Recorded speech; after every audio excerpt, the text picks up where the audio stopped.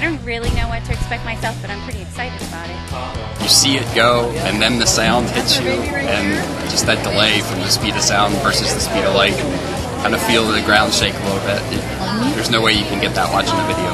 These scientific missions, I think, are amazing. It's amazing to see how fast it moves and to be able to hear them explaining where the rocket is and how quickly it moves. You know, four or five minutes after the launch, it's over Bermuda. Turbine monitor. Go. Pollen. Go. OSM. Go.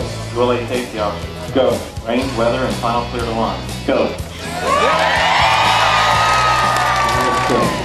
nine, eight, seven, six, five, four, three, two, one.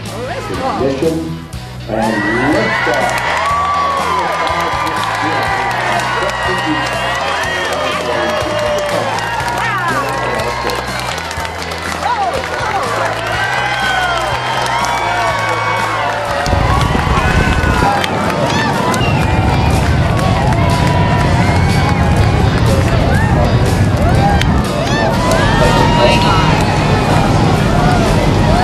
What do you think?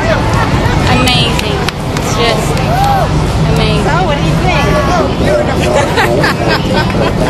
Amazing. Once in a lifetime opportunity. I mean, like, it's cool to think a rocket's flying over your head right now, carrying a space probe, and it's going to launch it to Jupiter. This has to be the most amazing event that I've actually witnessed up close. And I would tell whoever I can that this is something that you should witness.